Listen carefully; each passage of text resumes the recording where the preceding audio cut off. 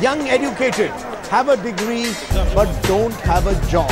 That's the critical question facing this country and indeed in particular the large Yes, latest reports say job creation is at a five-year low. In fact, one study says reducing 500. It's getting harder and harder for colleges to place their people with good companies because good companies are just raising the bar every day.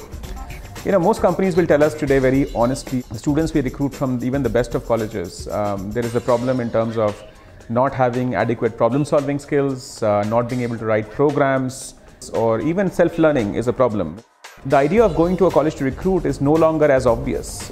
The days of providing a standard lecture based model and expecting everybody to benefit is gone. We are in the era of personalized self learning.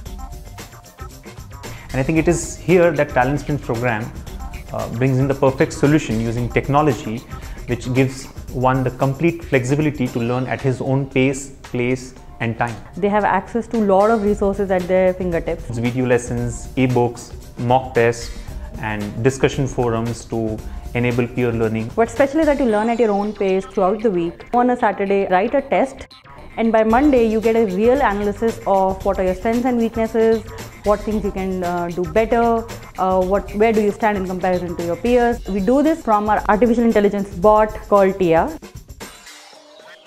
The reports provided by TIA is not just about scores. It talks about one's strengths and weaknesses, time management, accuracy, and a lot more. She also recommends a study plan for the next week.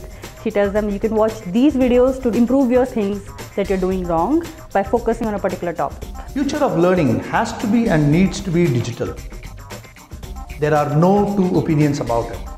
The first time job seeker who is at the age of 18 to 25 is born and more importantly lives with his mobile and the gadgets.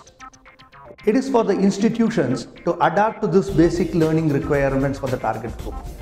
In addition to digitization, if we can add the power of personalization, the success factor will increase multifold.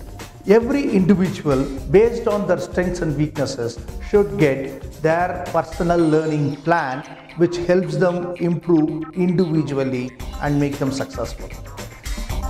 This is the power of TIA.